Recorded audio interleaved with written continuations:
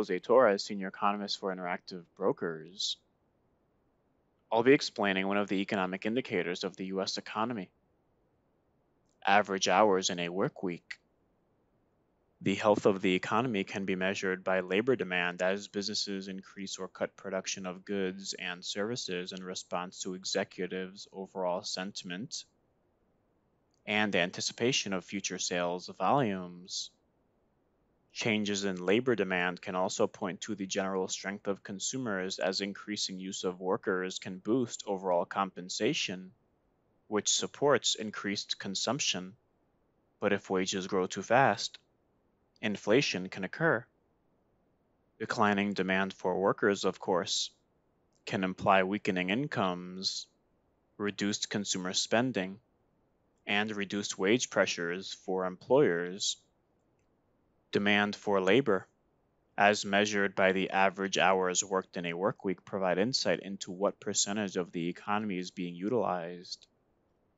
When utilization is relatively low and as indicated by average hours worked per week, the economy has capacity for expanding. When average hours worked per week is high, it's terrific news as it generally leads to gains in productivity, earnings, and GDP. Average hours worked in a workweek is included in the Bureau of Labor Statistics Employment Situation Report issued at 8:30 a.m. Eastern Time on the first Friday of the month. It's also known simply as the jobs report.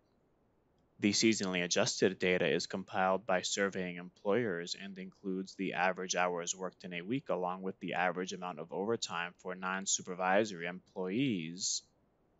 By using the surveys, the Bureau estimates the aggregate number of hours worked and hours of overtime worked.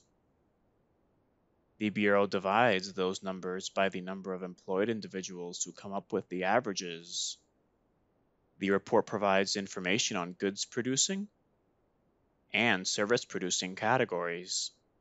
Goods producing includes manufacturing, mining, construction, durable goods, and non durable goods, and the service providing category includes transportation and warehousing, utilities, wholesale and retail trade, information, financial services, professional services, education and health services, leisure and hospitality, and other services.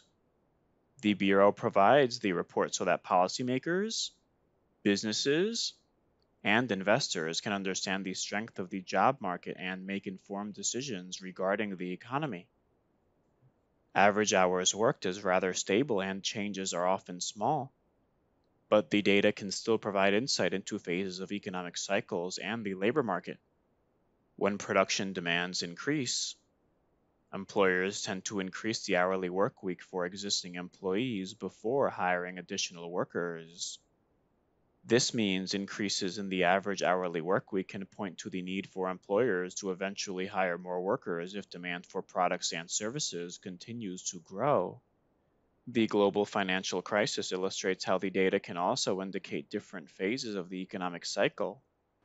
Average hours worked decreased 0.8 hours, or 2.3% during late 2007 to mid 2009. Since the data is based on both aggregate hours worked and the number of employed individuals, the average hours worked didn't fully reflect the impact upon the job market of the recession because when layoffs occur, both the aggregate hours and the number of employees decline. To that end, looking at aggregate hours worked along with the number of employees can be important. In the case of the global financial crisis, Aggregate hours declined significantly more than average hours while wide-scale layoffs occurred. On its own, the data seldomly influences capital markets, but when considered with other data releases, it can influence investor sentiment. It can also be correlated with changes in GDP and productivity.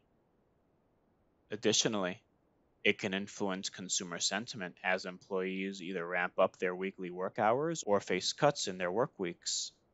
Since trends in average hours worked can provide insight into the overall labor market, the Federal Reserve closely monitors the information along with other data when setting monetary policy. If the Fed fears inflation is a concern, it may raise its Fed funds rate, which is likely to increase the value of the US dollar. As such, average hours worked, when combined with other indicators, can directly influence the strength of the US dollar and capital markets overall.